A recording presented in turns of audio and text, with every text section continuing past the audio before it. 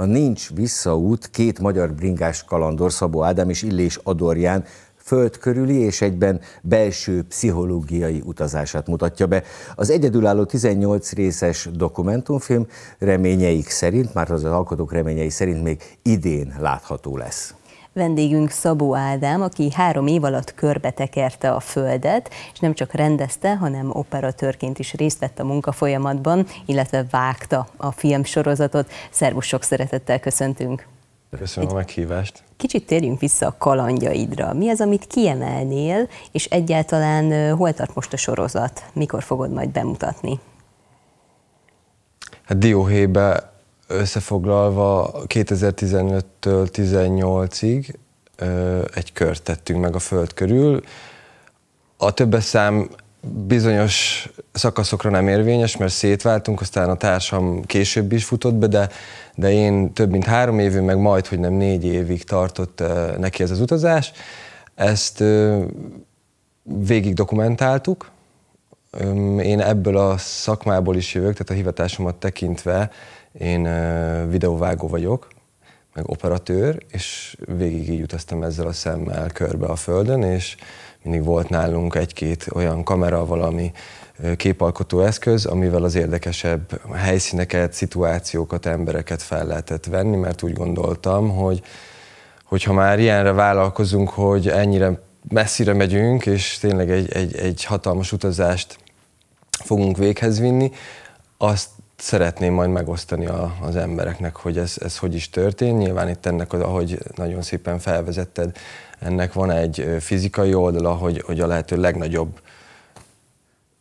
térben, a lehető legnagyobb ö, távot megtett, ez ugye a Föld kerülete, ami 40.200 km, és akkor ezen belül egy nagyon fontos, talán ettől még fontosabb motivuma az, hogy, hogy egy belső útkeresés is volt. Ez mindkettőnk részéről, és ezért is különleges a film, mert valójában ez nem egy klasszikus úti film lesz, vagy lett, hanem egy olyan pszichológiai és spirituális, és a, a, amikor még beszélgettünk erről, és, és kérdezgettek, és könyvet is akartunk erről írni, akkor spirituális kalandregény műfajba illett volna be ez a könyv, csak ilyen hogy a film, filmben nincsen, úgyhogy egyszerűen csak egy dokumentumfilm sorozat lett, 18 rész, de, de tényleg a, a ma nagyon érdekes és nagyon fontos téma a, a, a mintázatok, hogy, hogy, hogy hogy épül fel a, az ember tulajdonképpen a valóságlátás, meg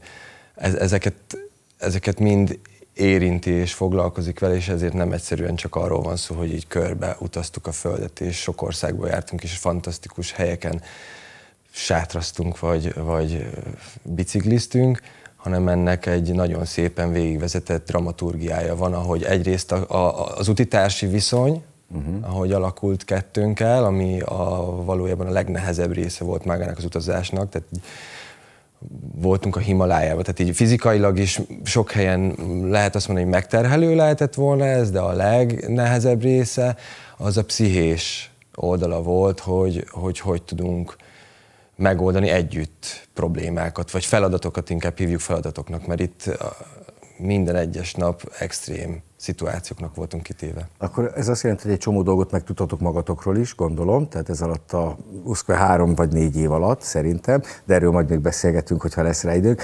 Mi volt a fő motiváció? Azért ez nem olyan, hogy én fölugrok a biciklire, évente egyszer, jó esetben, vagy két évente egyszer is elmegyek, mint a felső tárkányig, szóval itt azért e, komoly mentális, fizikai, anyagi felkészülés kell egy ilyen utazáshoz. Mi volt az alapmotiváció, hogy ezt most nektek, ezt, ezt most muszáj lesz körbetekerni a Földet?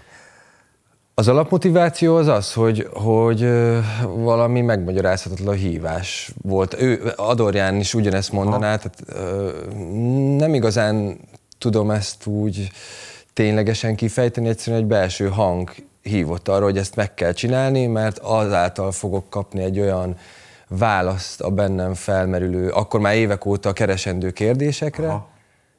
Hogy, hogy ez a közeg, ez az ismeretlen közeg, és ez a nomád ö, nomádság, hogy kitesszük magunkat a teljes ismeretlennek éveken keresztül. itt, itt itt annyira hosszú időről volt szó, hogy előre se lehetett ez látni. Az alapterv az ugye az volt, hogy két és fél év lesz, de hát aztán ez majdnem, nekem egy évvel majdnem, a Doriának meg több mint egy évvel túlnyúlt. Aha. Szóval annyira, tehát amikor ennyi időt töltesz ilyen szituációban, az, az szinte teljesen ugyanolyan lesz, mint hogyha már az az életeddé válna. Tehát mi már nem is úgy fogtuk fel, és én értem, hogy a, a a kívül álló embereknek, vagy a külső szemmel figyelő embereknek ez egy, ez egy, ez egy furcsa és érdekes dolog, de ebbe benne lenni számunkra ugyanolyan hétköznapi dologgá vált, mint egy péknek lenni, vagy akármi hétköznapi munkát végezni, mert hogy olyan sokáig is tartott, és, és azáltal, hogy csomó helyen megfordultunk, nagyon sok kultúrában, nagyon ki voltunk téve a helyi embereknek, ezért alkalmunk nyílt tulajdonképpen egy olyan tudattágító hatása volt ránk ennek az egésznek, amit valójában helyhez kötötten, hát életek alatt, gondolom életek kellenének ahhoz, hogy, hogy ezt ma, magunkra gyűjtsük.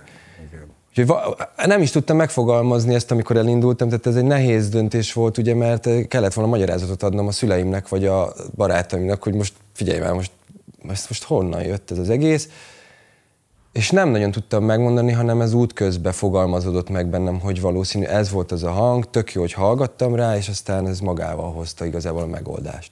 És ugye nem csak, hogy rendezted, de gyakorlatilag operatőr is voltál, és te magad vágtad a filmet. Igen, nagyon érdekelne a technikai felszerelésed, hogy miket vittél magaddal, mennyire kis fényképezőgépet, akár akciókamerákat, mennyit bírt el a kerékpár. Igen.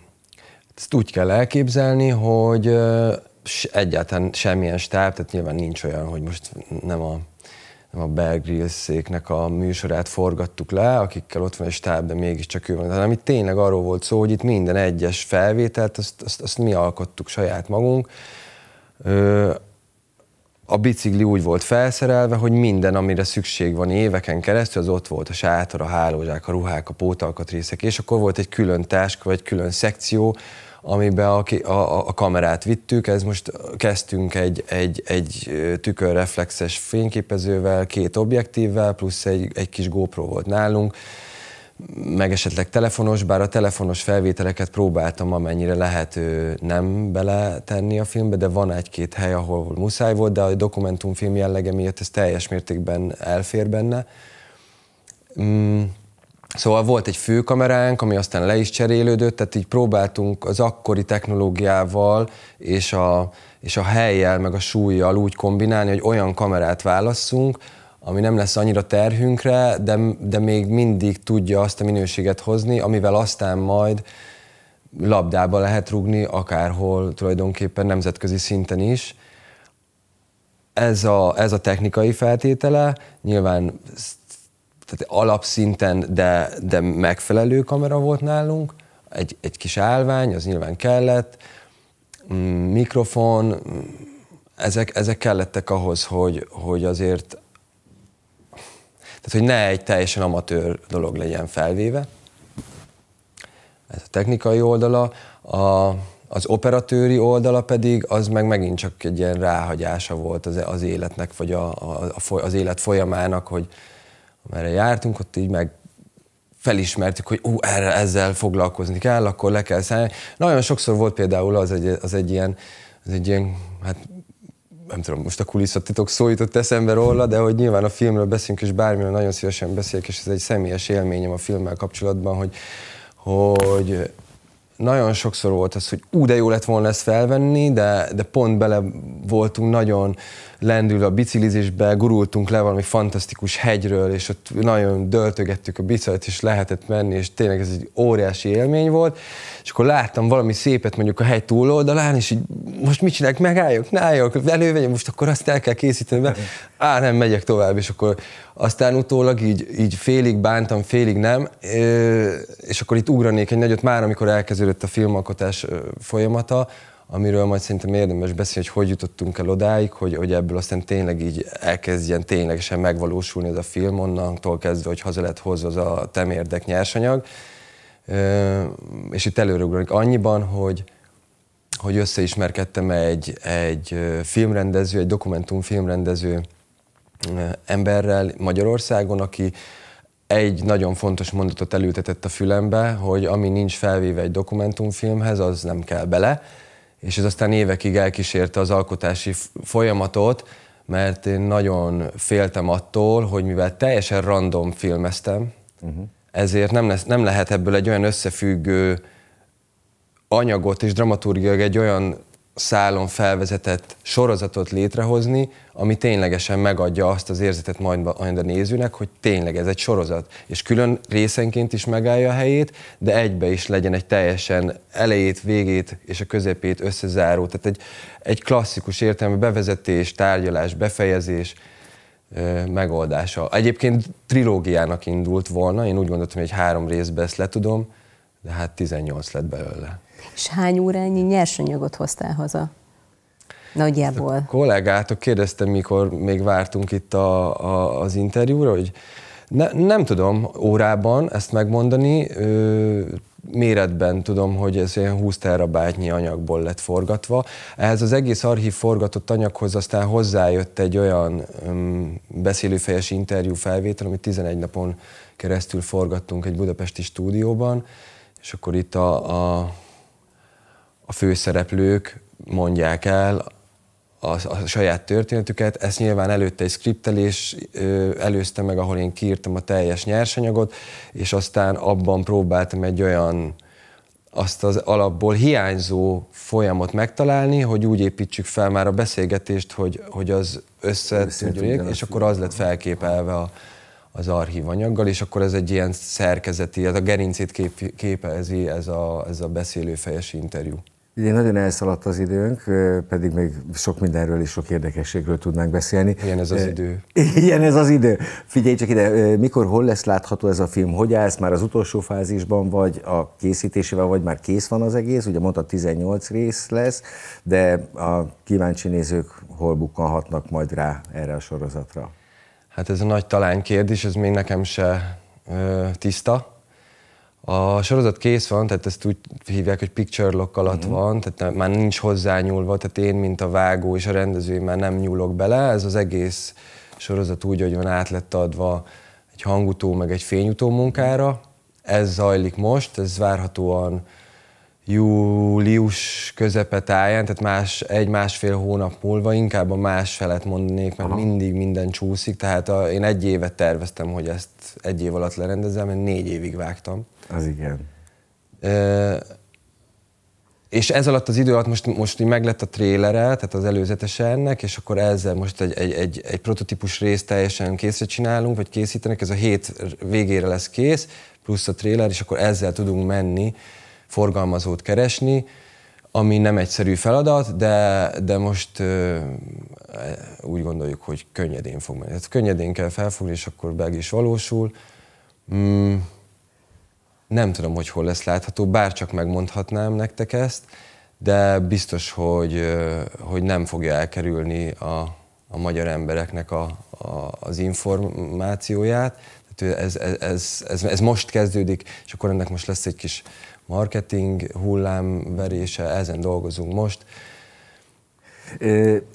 Szerintem csináljuk azt, hogy amikor kész vagytok a trélerrel, valamikor az ősz elején, vagy a nyár végén, akkor majd visszajössz hozzánk, beszélgetünk még egy kicsit a történetről, hát ha akkor már egy kicsit okosabbak leszünk abban is, hogy hol lesz majd látható az ősz folyamán ez a sorozat és akkor akár be is mutatjuk ezt a trélert egy kicsit. A tréler kész van, azt, azt, azt most láthatjuk. Olyannyira, hogy meg is mutatjuk a trélert. Most már meg is mutatjuk a trélert. Igen. Egy, egy perc 50-es, hát akkor nagyon meg... jól összefoglalja az egészet, és, és maga a film sorozat, tehát a teljes sorozat az, ami, amire várni kell még két vár. hónapot, de, és a forgalmat, tehát hogy mely, mi lesz az a platform, ami ezt ami ezt levetíti. is le tudja Igen, vetíteni. és azzal nagyon szívesen visszajövök. Igen, ez, de mindenképpen akkor ez legyen az árszója ennek a beszélgetésnek, hogy várunk vissza sok szeretettel. Reméljük, hogy mi hamarabb forgalmazott és találsz. Akkor, és akkor még tudunk erről egy kicsit beszélgetni, mert azért azt gondolom, hogy nem csak fizikálisan, mint ahogy az elején mondtam, hanem ezért ez pszichésen is egy hatalmas mm, feladat volt,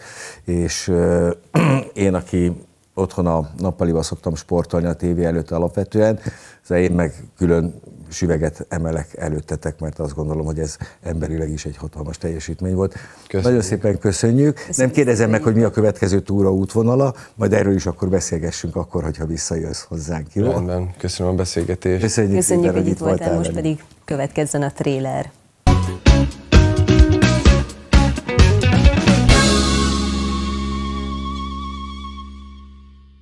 Két magyar fiatalember tegnap útnak indult, hogy kerékpárral körbejárják a földet.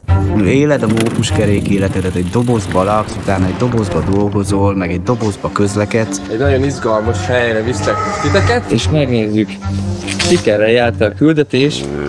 Kőkemény, extrém szituációkban hozott döntések folyamatos sorozata. Mindenhol embereket írnak küldni Nicaraguába. Um, the idea uh, was quite simple. Take a bike, ride the bike around the world, and come back alive. Végre valami igazán kőkemény kihívás, amivel meg kell küzdenem. Lehet, hogy nehéz, de amúgy egy fantasztikus kaland. Nem olyan, mint lemenni a sarki zöldségesbe. Alapvető szabály volt, hogy mindegy, mi fog történni, ameddig tudunk, mi megyünk. Csak hogy volt egy gond. Good luck, my friend. Mert aki utazik, az tudjon. Elbúcsúzni. Hello, good morning, my dear friend. How are you? Believe in humanity. Because there's so many wonderful people around the world, and there's only one shot to share. Ez egy álom, gyerekek! Csodálatosak az emberek. És ez a film erről szól tulajdonképpen, hogy ez bemutassa, ezzel, amit ti most csináltok, Hihetetlen! ráléptetek egy olyan útra, aminek tulajdonképpen sosincs vége, a halállal sem.